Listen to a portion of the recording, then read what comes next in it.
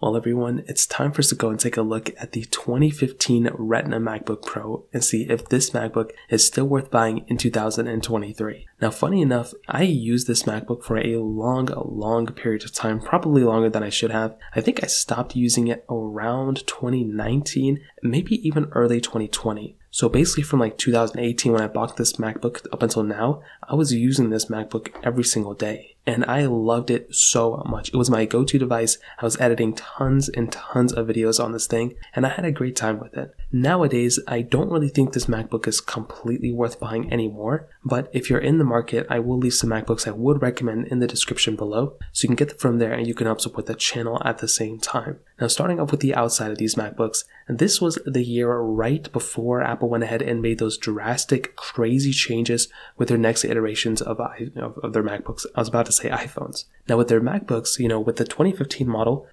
even these ones were a little tiny bit controversial because they did remove some of the ports that we had on the 2012 MacBooks.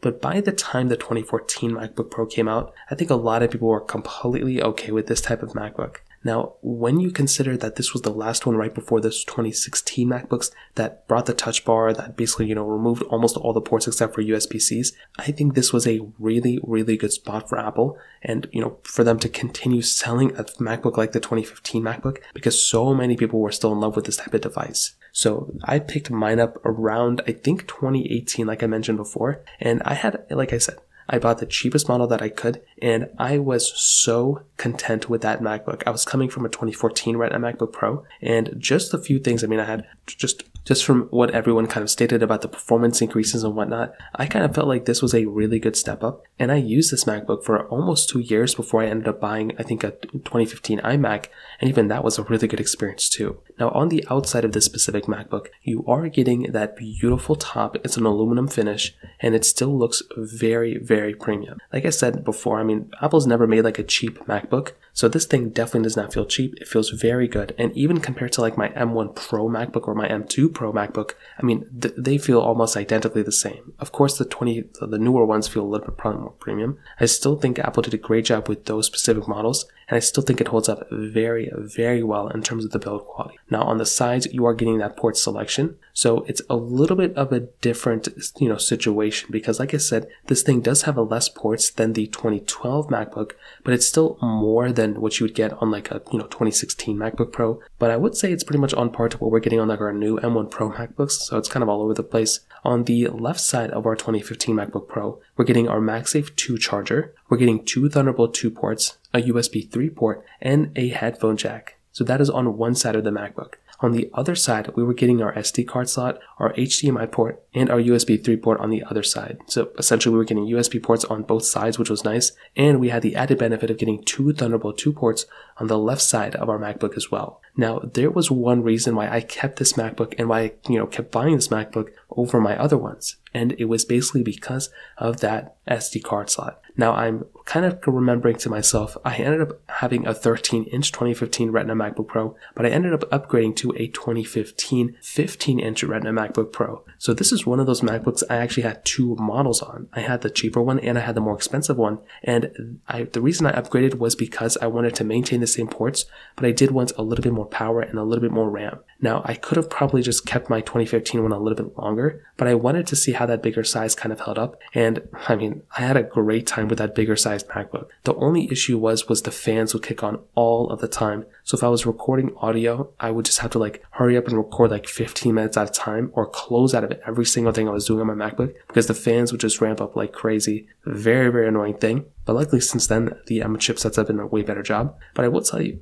both MacBooks, again, the reason why I kept them for so long was because of the SD card slots. And that was one thing I will never, ever even consider giving up at that moment. Funny enough, I did end up doing it and I got my M1 Pro, or I got my M1 MacBook Pro, and that was a very good MacBook as well. But I, even then, I still miss my SD cards that I had inside of my 2015 MacBook. Now that kind of covers it up on the outside. Now flipping this thing open, we had a beautiful display on the inside. So this thing came out in two different sizes. You had that 13 inch size and you had that 15 inch size. Now, personally for me, I think that 13 inch size was very good. It was a very good machine. It was so portable, so you could easily go ahead and basically carry this thing anywhere that you wanted to go to. And anytime I went somewhere, like if I had to go travel, which I barely even did, but if I had to go put my MacBook into a book bag and then bring it to wherever, I could easily do that. It was so small. And I did travel with that a few times, like very, very few times. And it was just so nice not having to worry about dragging this whole entire humongous MacBook with me. And that was a very nice experience. With something like my 20,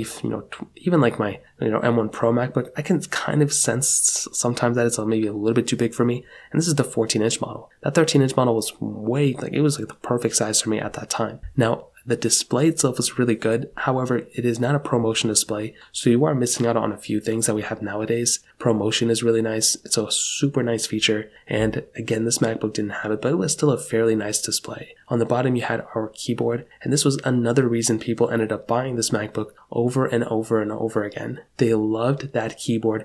They hated the touch bar. And I mean, rightfully so. I mean, the touch bar is just like a very awkward thing to have. And I do think with a MacBook like this, I mean, you are getting a very solid device in my opinion. And again, this is pretty much no exception. Now, the trackpad at the bottom was great. It was the first time we got that vibration motor inside of it. So it wasn't really like a button you clicked. It was basically just like a vibration sensor. And that was a really nice thing too on this MacBook. And overall, when I look at this MacBook, I think again, Apple did a tremendous job with it. They recycled basically everything on the outside. But that was kind of why people liked this MacBook was because it didn't really deviate from the norm. And people just really did not like those 2016 to like 2019 MacBooks. And that's kind of where we were at during that moment. Now, the performance of these MacBooks can differ, so you can spec this thing out in a few different ways. But I will tell you from my experience, having a MacBook like this nowadays it is showing its age, but it's not because this MacBook is super slow. It's because our MacBooks have gotten so much better. Apple has moved away from Intel and they've made their own Apple Silicon. So because of that, we are now in a situation where Apple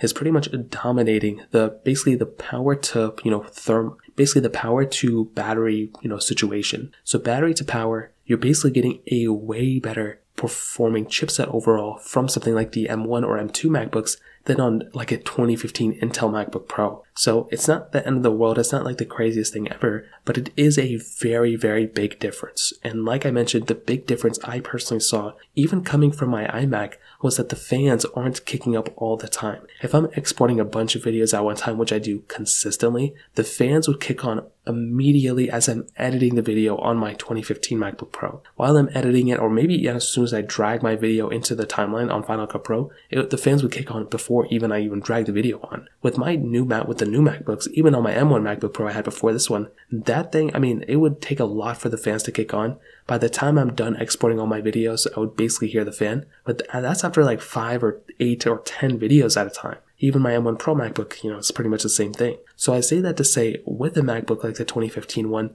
it isn't the end of the world if you're still using it. But there's a few things to keep in mind. The new MacBooks are much better than this thing, but also, I mean, if you really think about it, you know, the 2015 MacBook Pro is also unsupported with software, you know, during this moment too. So that makes even less sense to go and buy a MacBook like that one because it's no longer getting support. So at the end of the day, is the 2015 MacBook Pro still worth it? I would probably say no. You know, I, I don't think this MacBook is worth buying if you're planning on using it as an everyday MacBook. However, if you're planning on getting this MacBook and you plan on just, you know, basically using it on it as like a side device of some sort or something like that, then maybe that's okay. But I think for every, like for all intents and purposes, it doesn't make a lot of sense to go ahead and buy a MacBook like this if I'm being honest. So at the very least, buy something like a 2020 M1 MacBook Pro. That might make a little bit more sense.